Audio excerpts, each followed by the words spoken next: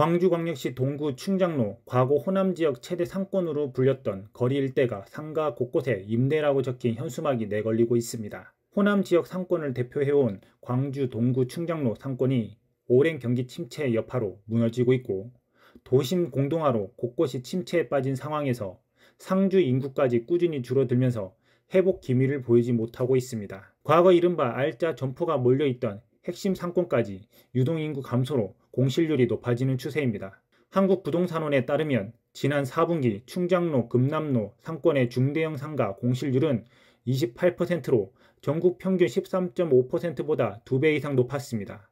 중대형 상가는 3층 이상 규모 또는 연면적 330제곱미터 약 100평을 초과한 상가를 의미합니다.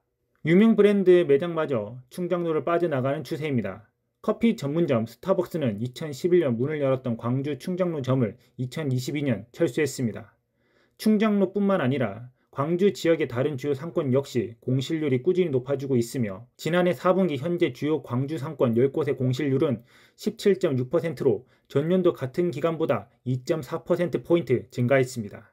특히 충장로와 함께 광주 대표 상권 중 하나인 전남대학교 상권은 2015년에서 2019년 6.9%에서 17.1% 사이에서 지난해 48.7%까지 뛰어올라 전국 최고 수준의 공실률을 기록했습니다. 광주라는 곳은 정근대 국가였던 조선 주자 성리학 나라같이 초대형, 개발, 발전 등 이런 말들을 싫어하는 것 같으며 정근대 사회를 지향하는 도시인 것 같습니다.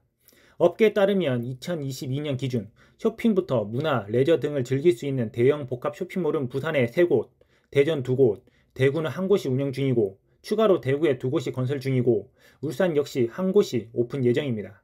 반면 광주에는 단 한 곳도 존재하지 않습니다. 창고 형태 대형 할인마트 역시 부산에는 4곳, 대구 3곳, 대전 2곳 등이 있지만 광주에는 롯데마트 맥스 상무점 한 곳이 유일하게 운영되고 있습니다. 5성급 특급 호텔도 마찬가지 부산과 울산 지역에는 총 12곳이 있고 대구에만 2곳이 있지만 광주는 전무합니다.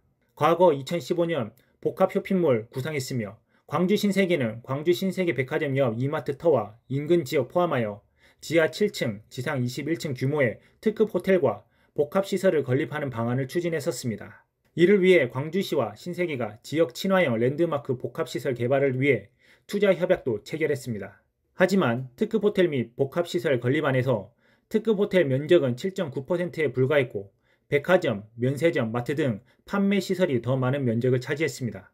이에 인근 금호월드 상인들은 신세계 계획은 사실상 축구장 48개 규모의 초대형 쇼핑몰을 짓겠다는 것이라며 강력히 반발했습니다. 특히 신세계가 시에 제출한 건립 계획안에 사유지인 도로가 포함돼 특혜 의혹도 제기됐지만 신세계에서는 금호월드 상가 쪽 사업토로 편입된 도로를 대체할 신규 도로를 건설해 시에 기부 체납하겠다는 제안까지 했었습니다. 하지만 신세계 복합 쇼핑몰 입점 저지 시민대책위원회는 이마트와 나대지 필지가 합해지면 결국 신세계가 매입한 나대지 땅값이 상승한다. 이것이 특혜 아니냐고 지적하며 대형 쇼핑몰 입점을 반대했습니다. 초대형 쇼핑몰이 생기고 주변이 좋아지고 광주 시민들이 편리성 혜택이 많아지는 게 땅값 상승보다 더 싫었나 봅니다. 이러한 논란이 일자 그 당시 새정치민주연합 을지로위원회는 골목 상권을 보호해야 한다며 시의 투자 협약을 백지화하라고 요구했고 결국 무산됐습니다. 민주당 대선 예비 후보였던 문재인도 2017년 복합 쇼핑몰이 중소상인 자영업자들의 밥그릇을 빼앗고 지역 상권을 초토화시킨다라며 반대한 바 있습니다. 그런데 이번에 18년간 개발이 표류했던 광주 어등산 관광단지에 신세계 프라퍼티가 2030년 그랜드 스타필드 광주 개장을 목표로 어등산 관광단지 유원지 부지 개발 사업, 사업 협약을 체결했습니다. 이 또한 순조롭게 잘 진행될지는 매우 의문입니다. 지역 상권 초토화시킨다고 제2의 입점 저지 시민단체가 또다시 시끄럽게 하지 않을까 걱정이 됩니다. 또한 business friendly를 정책 기조로 내세워온 윤석열 정부는 유통산업발전법 개정을 통해 대형마트 의무 휴업일 공휴일로 지정한 원칙 삭제, 영업 제한 시간에도 대형마트 온라인 배송 허용 등을 추진하면서 현재 서초구 관내 대형마트 3곳과 기업형 슈퍼마켓 31곳이 일요일 의무 휴업일을 평일로 전환했습니다.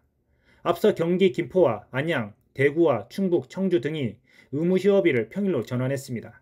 하지만 강기정 광주시장은 대형마트 의무 휴업을 유지하겠다는 입장을 밝혔습니다. 강 시장은 대형마트 의무 휴업과 관련 5개 구청과 협의해 대형마트 공휴일 의무 휴업에 대해 변동 없이 해나가겠다고 밝혔습니다. 대구시가 의무 휴업일을 평일로 바꿨더니 전통시장 매출이 35% 올랐지만 광주시는 대형마트를 절대 악으로 취급하는 시대에 뒤떨어진 편향된 사고로 정치를 하고 있습니다. 어찌됐든 현재 전라도 광주시와 광주시민 여러분 지금처럼 초대형 쇼핑몰 반대와 대형마트 의무 휴업 찬성을 변함없이 한결같이 광주 소상공인들을 위해 재래시장만 영원히 방문해 주시면 대단히 감사하겠습니다.